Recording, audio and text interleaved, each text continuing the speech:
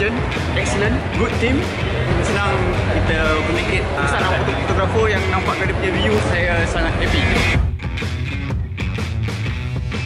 Asalnya main kamera tu mungkin sebab Yalah kita ada Buat photoshoot dengan family lah apa semua So saya antara orang yang suka pegang kamera lah Walaupun kamera tu bukan saya yang punya Okey, macam mana saya boleh kenal Snap tak daripada nampak iklan dekat Facebook untuk kelas malam. Ha, jadi masa tu belajar Photoshop, edit gambar landscape dengan Shibli masa tu. Pas pada tu kita start lah figure out apa lagi kursus-kursus lain yang ada sebab nak belajar kan. Jadi tu yang nampak ada ZTP. Jadi kita pun join dan lepas tu pula dibantu pula dengan video-video testimoni dia lagi lah meyakinkan kita.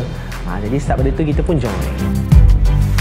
Macam saya sendiri, memang saya memang dah ada orang kata apa basic uh, macam mana nak handle kamera apa semua tapi Uh, walaupun kita dah banyak benda yang kita tahu dekat luar sekalipun dalam kelas ZTP tu memang banyak sangat surprise which is benda yang kita tak tahu.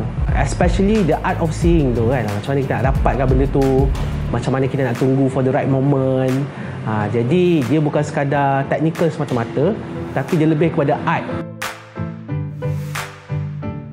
Sebelum dan selepas masuk ZTP memang ada beza. Sebelum ni ialah kita shoot sendiri-sendiri apa semua tak ada siapa nak orang kata apa kritik eh, gambar kita.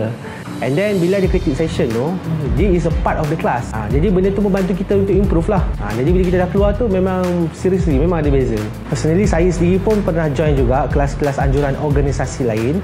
Apa yang membuatkan Snap ini unik adalah syllabus yang diajar ketika dalam kelasnya uh, membuatkan para peserta tu lebih industry ready. Jadi lepas dah habis belajar tamat kursus dekat Snap tu especially ZTP, you keluar je you boleh start you know buat wedding boleh, you know buat um, uh, shoot event boleh. Jadi memang dia membuatkan para peserta industry ready lah.